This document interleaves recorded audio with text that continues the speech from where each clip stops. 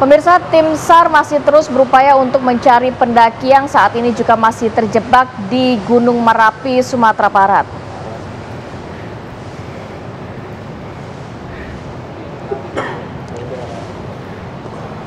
Kondisi Gunung Merapi membuat kesulitan eh, tim evakuasi untuk menjangkau lokasi korban yang sudah terlihat namun tak bisa dijangkau oleh tim. Dan hingga kemarin masih ada 8 korban eh, tewas yang tengah dievakuasi dari 13 korban meninggal dunia. Tim SAR, tim SAR masih mencari lima orang pendaki lainnya.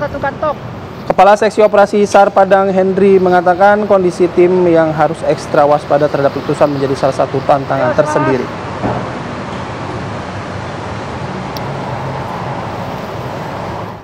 Proses kali ini masih tetap berjalan dikarenakan uh, survivor yang kita cari ini kelihatan. Hanya kita kesulitannya pada saat melakukan evakuasi.